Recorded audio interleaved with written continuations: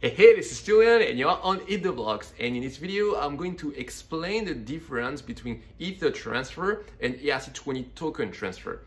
So I'm going to explain the difference from the point of view of a user and also from the point of view of the Ethereum blockchain, so from a technical perspective. So let's start with the transfer of an Ether. So I'm a user and I want to transfer, let's say one Ether to a friend. So I open up my wallet and I choose the recipient address. I choose the amount that I want to transfer. I press send and it's going to build a transaction with all the detail of the Ether transfer. So I will have to pay some uh, gas costs for this transaction. By the way, if you don't know what is gas, I have a whole series on gas on my channel, so check it out. So I will have to cover these gas costs and so for that, I'm gonna pay just a little bit of, uh, of Ether.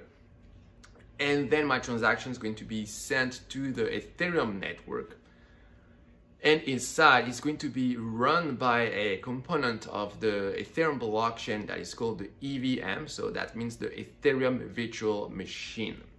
So the Ethereum virtual machine knows how to run some elementary operation called opcodes. So for example, in smart contract, you can do stuff like uh, addition, subtraction, etc. So all of these are opcodes that can be executed on this EVM. And one of these opcode is for transferring Ether. So the EVM is going to see what's inside the transaction and it's going to see that there is an opcode to transfer some Ether. So it's going to, to see that and actually do the transfer. So, uh, so yeah, so that's how it works for uh, an Ether transfer. So next, what about an ERC20 token transfer? So let's say that I want to transfer 1000 DAI token to someone else. So once again, I'll open up my, my wallet. Uh, most wallet know how to handle both Ether transfer and ERC20 token transfer. So I choose how many token I want to transfer. I choose the, the recipient. So this is exactly the same as for Ether, but there is one difference because this time I have to specify which ERC20 token I want to transfer because on the Ethereum blockchain, you can have as many ERC20 token that you want. Whereas for Ether, you don't have to specify which Ether you want to transfer. There is just one Ether. It's native to the Ethereum blockchain. So I specify all the input of my transaction. I press send, so it's going to build a transaction with all the detail of my ERC20 token transfer, like for Ether. Uh, like for Ether also, I will have to cover the gas cost of the transaction.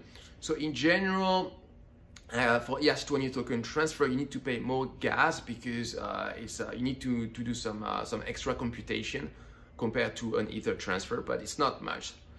So you send this transaction to the Ethereum blockchain, and once again, it's going to be run uh, inside the EVM, the Ethereum virtual machine. However, the big, big difference is that the EVM doesn't have any opcode to do an ERC20 token transfer. So what's happening? Well, what's happening is that when you do an ERC20 token transfer, you actually call a function on the smart contract of the ERC20 token. So there is a function that is called transfer and it accepts a couple of arguments. So one of them is the amount that you want to transfer and the other one is the recipient address. So this function is going to check a, a few things like do you have enough uh, ERC20 token to transfer this many to this recipient? And if all the check, uh, check uh, checks out, then it's going to carry out the transfer.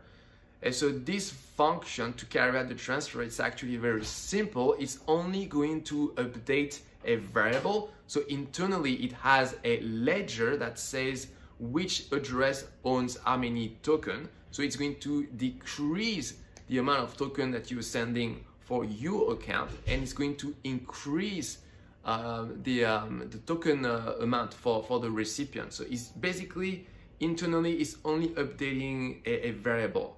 So for, from the point of view of the EVM, uh, the opcode that is used to transfer this ERC20 token is an opcode to change the value of a variable. So the EVM doesn't have any concept of ERC20 token. It's just us human who decide to give a meaning inside a variable of a smart contract. So technically, these two things are very, very different. So that's really important to uh, understand the difference. That's pretty much it on the difference between Ether transfer and ERC20 token transfer. If you have any question, you can ask them in the comments down below. Thanks for watching and I'll see you soon for another video on Ethereum and blockchain programming. Bye bye.